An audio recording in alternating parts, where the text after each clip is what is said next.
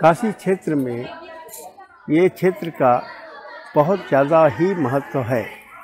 ब्रह्म पुराण में लिखा हुआ है कि एक समय प्रयागराज त्रिवेणी संगम के शरीर में कुष्ठ रोग हुआ।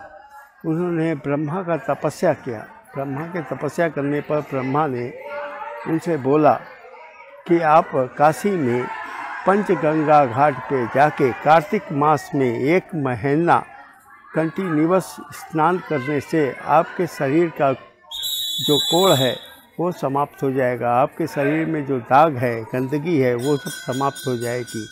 और उन्होंने बोला कि जो लोग मध्यान्ह काल में काशी क्षेत्र के अंदर पंचगंगा घाट में मध्यान्ह काल 12 बजे स्नान करेंगे। उनके सारे पाप समाप्त हो जाएँगे और उनके शरीर में एक सूर्य की किरण की उत्पत्ति होगी।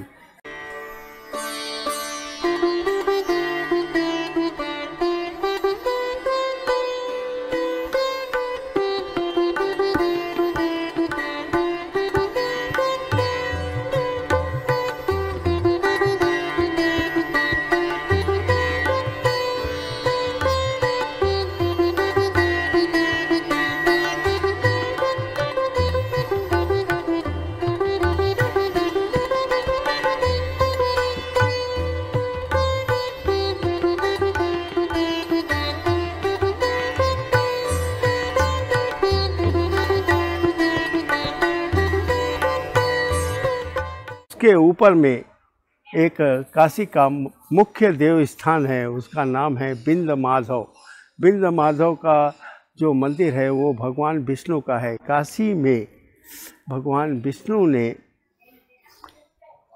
काशी में भगवान विष्णु ने आके तपस्या किया था। तपस्या करने पर काशी की प्रधान देवता का अधिकार उनको प्राप्त हुआ। काशी में शिव और माता अन्नपूर्णा ये काशी क्षेत्र भगवान शिव ने बनाया माता अन्नपूर्णा के लिए। इसलिए मेन जो हमारे काशी के देवता हैं, वो हैं बिंद माधव।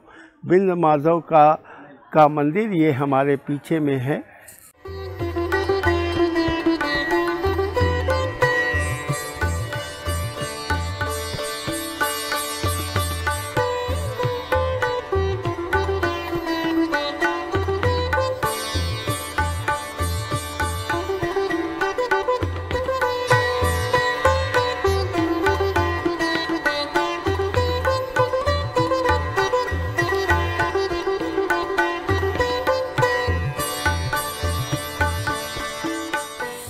उसको अनादिकाल में वो मंदिर, ये सामने जो मास्क आप देख रहे हैं उसमें था। मगर मुस्लिम पीरियड में जब मुस्लिम लोगों ने इसको ध्वस्त करके मास्क बना दिया तो ये मंदिर का जो विग्रह है, वो हिंदू ब्राह्मणों ने उठा के सामने के बिल्डिंग में लगा दिया। आज बिंद माधव का पूजा और सारा कार्य इसी मंदिर से होता है। ये काशी की मुख्य भूमि है। इसको बोलते हैं पंचगंगा घाट। यहाँ पे पाँच नदियों का संगम है। तीन नदी गंगा, यमुना, सरस्वती, जो त्रिवेणी संगम में मिलने के बाद काशी को आती हैं।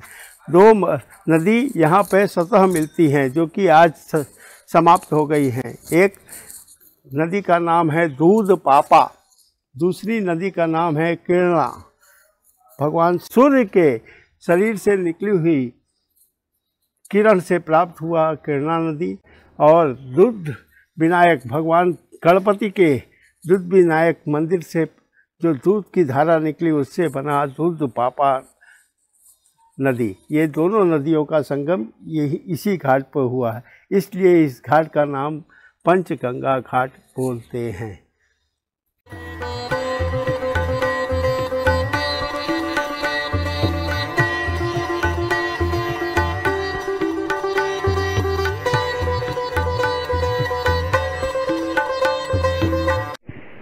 మీకు కనుక మా వీడియోస్ నచ్చినట్టయితే లైక్ చేయండి కమెంట్ చేయండి షేర్ చేయండి సబ్స్క్రైబ్ చేయండి.